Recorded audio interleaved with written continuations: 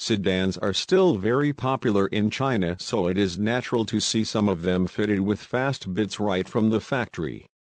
The latest example is the Dongfeng Aeolus Yixuan Max Dark Night Edge Edition which was unveiled in concept form last year and is now available for sale in the Chinese market.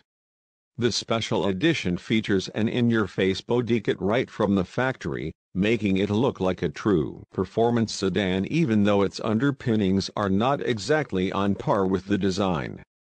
The exterior of the car looks like it came out of the Need for Speed Underground video game.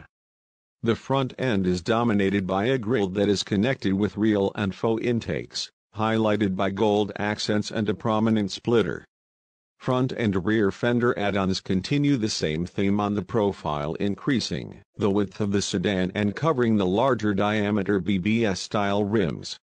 While the DTM-style inserts are a nice touch, the stock suspension seems to be a little high. At the back, things get even weirder, especially in the wing department.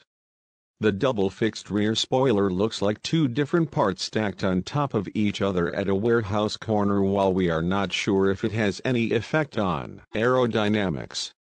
The rear bumper is also redesigned with a massive diffuser and two golden wings mirroring the front splitter and leading our eyes to the extra winglets behind the semi-exposed rear wheels.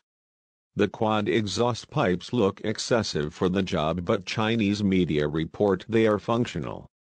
Inside there is a standard 12.3-inch digital instrument cluster showing a 3D model of the regular version of the sedan without the fancy bodykit, and a 10.25-inch central touchscreen under a VW-style cover.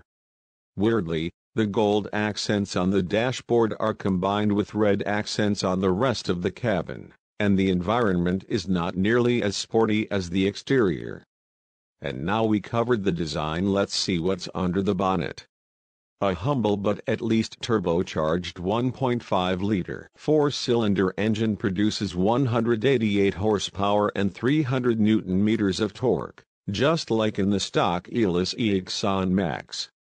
Power is transmitted to the front axle through a 7-speed DCT gearbox allowing a top speed of 210 km per hour, 130 miles per hour.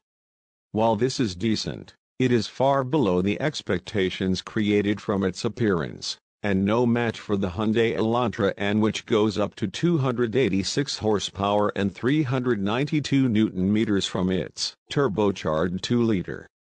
Despite the difference in performance and the lack of any handling-related treats, it is important to note the price.